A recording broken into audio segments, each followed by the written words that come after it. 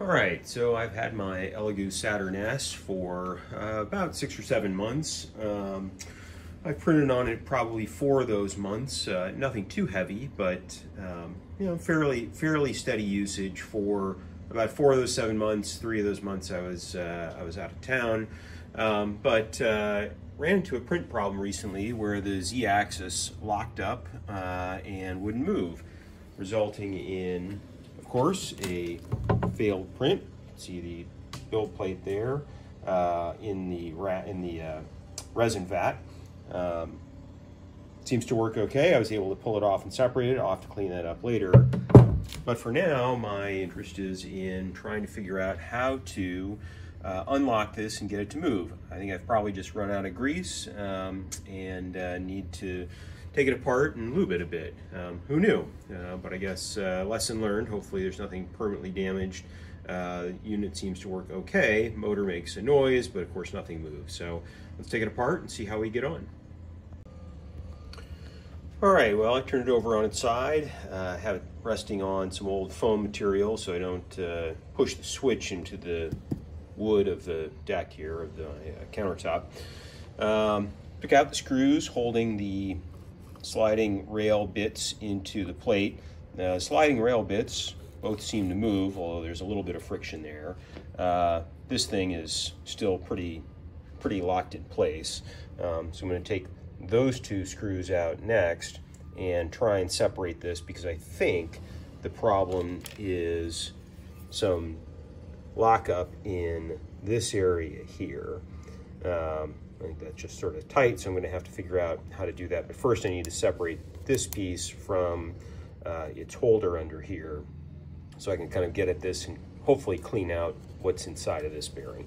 Uh, so that's the next step. Let's see how we go. All right, so I'm gonna hold this uh, lock washer and manually move the move it up.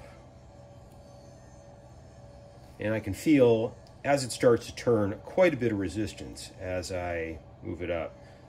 So clearly this rod needs to get needs to get a thorough cleaning. Um, all this black junk that's in there uh, probably isn't helping it move at all. Um, but this looks like a pretty pretty straightforward fix. So the next thing I'm going to do is take this top cap off so I can take the nut completely off. Let me tilt this so you can see what I'm talking about.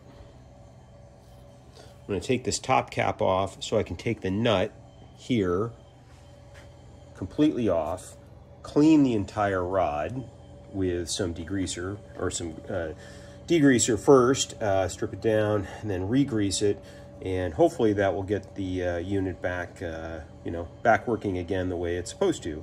Uh, then of course I've got to clean up my build plate, uh, recycle the resin that's still there, flash it to solidify the bottom, clean up the build plate, uh, and clean it all back up to get it printing again. Um, but just a word to the wise, uh, because I didn't do it, clearly you got to maintain and uh, grease this thing up a little bit. Um, it's a wonderful machine. It's printed a lot of really cool things for me, but uh, uh, you got to take uh, take better care of it than I have. And you know, luckily, it doesn't seem like there's any permanent damage, so I'm thankful for that. the other thing I'm going to do is move these two um, sort of clasps around the rails and lube these up as well because uh, even though they can move a little bit, there is some friction and some some resistance there that uh, that probably shouldn't be. So anyway, that's the plan from here.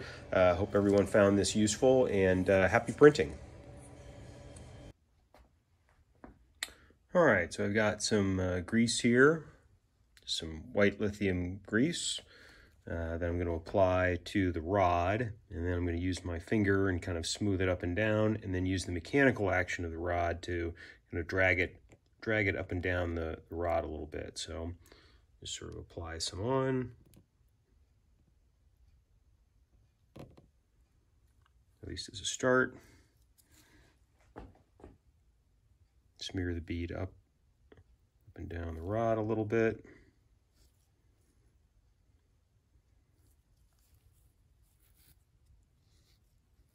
I'm also going to do the side rails there too.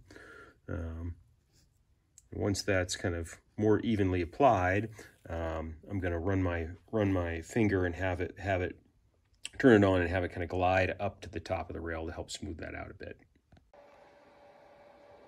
All right, so now I've gotten the grease on the rod and I've lightly tightened, hand tightened a couple of the screws on the, uh, the runners, the uh, connectors to the, to the runner, so that I can test it out, make sure that it actually goes up and down. Uh, and in fact, moment of truth, let's see what happens. Oh, that's a good sign. I like that very much. Uh, okay, well, I'm going to run it all the way back down to the home position, uh, run it up and down uh, a couple of times before I tighten up and put in all the other uh, six screws, tighten everything up, clean it all off, and then, uh, you know, hopefully we'll be able to run some prints. But anyway, YouTube was pretty helpful for this. I'd seen it for the Elegoo Mars, as the Elegoo Saturn S. pretty similar. Um, once I run it down a couple of times, I'll put the cap back on the top. Uh, and then, of course, I need to continue to clean up my print. Uh, but uh, maybe this afternoon we'll be able to uh, get some things running again. Um, all right, so after uh, lubing the vertical rod, uh, I went ahead and ran a couple of, of projects through.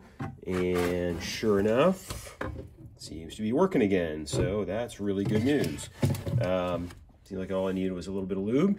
Uh, I'm going to have to take a closer look at that from time to time, just make sure that uh, there's some real action on there. But uh, machine's back and running, and I'm printing again. So all's well that ends well. Good luck with everybody else in your printing, and if you have any questions, leave them in the comments below. Thanks.